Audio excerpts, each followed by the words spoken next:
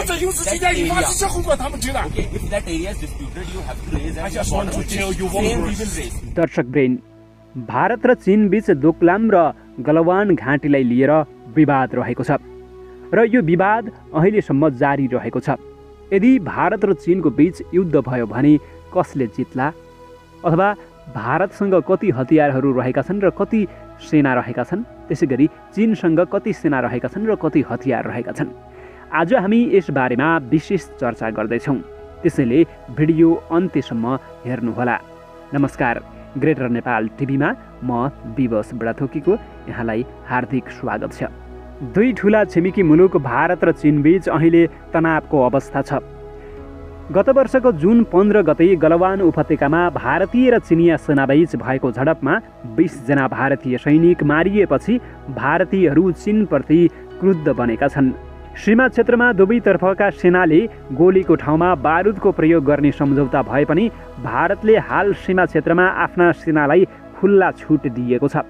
सीमा क्षेत्रमा दुवै मुलुकले सैन्य गतिविधि बढाएका छन्। सीमा क्षेत्रमा लडाकु विमानले दुवैतर्फ गस्ती गरिरहेको भारतीय र चिनिया सञ्चार माध्यमहरूले जनाएका छन्। भारत र चीनबीच यसअघि उन्नाइस सय बैसठीमा युद्ध भइसकेको छ। जसमा भारतले हार भोग्नु परेको थियो।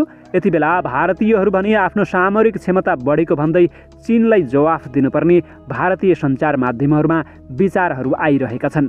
भारतीयहरूको यस्तो विचारको जवाफ चिनिया सञ्चार माध्यमहरूले पनि दिइरहेका छन्।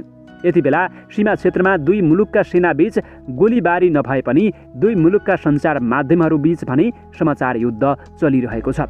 यदि युद्ध नै भयो भने कसले बाजी मार्ला त्यो अनुमान गर्न छिटो हुने भए पनि दुई देशको सैन्य शक्ति सन्तुलनको तुलनाले भने यही तस्बिर देखाउँछ।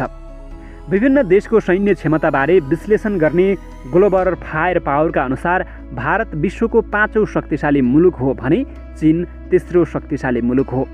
उसका अनुसार भारतमा कुल सेनाको सङ्ख्या चीनको भन्दा धेरै भए पनि सक्रिय सेना भने चीनको धेरै छ।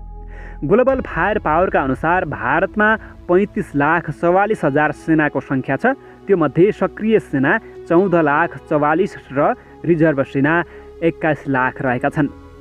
त्यस्तै चिनमा जम्मा सेनाको सङ्ख्या छब्बिस लाख त्रियानब्बे हजार छ भने त्यो मध्ये सक्रिय सेनाको सङ्ख्या एक्काइस लाख त्रियासी हजार छ। त्यस्तै रिजर्भ सेना पाँच लाख दस हजार छन्। यहाँ सक्रिय सेनामा चिन अगाडि देखिए पनि जम्मा सेनाको सङ्ख्यामा भारत अगाडि छ। भारत अगाडि रहेको यो मात्र एक विषय हो। भारतको सैन्य खर्चभन्दा चिनको सैन्य खर्च निकै धेरै छ। चिनको सैन्य खर्च गत वर्ष दुई सय पचास बिलियन अमेरिकी डलर थियो भने भारतको सैन्य खर्च एक सय पचास बिलियन डलर। यस्तै चिनसँग बाह्र सय बत्तिस लडाकु विमान छन् भने भारतसँग पाँच सय अडतिसवटा छन्। यस्तै चिनसँग न्युक्लियर हेड तिन सय बिस छन् भने भारतसँग एक सय पचास छन्।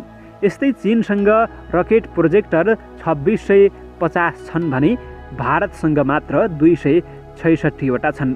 दुवै मुलुकसँग थल सेना वायुसेना र नौसेना रहेका छन्। दर्शकवृन्द यी तथ्यहरूले पनि युद्ध कसले जित्छ भनेर तपाईँले अनुमान गर्नु भइसकेको छ होला। तपाईँलाई चाहिँ कसले युद्ध जित्छ जस्तो लाग्छ? अथवा सैन्य शक्तिमा को बलियो छ जस्तो लाग्छ?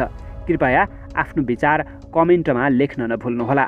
हस्त अर्को श्रृङ्खलामा फेरि हाम्रो भेट हुनेछ। तबसम्मको लागि आज्ञा दिनुहोस्। नमस्कार।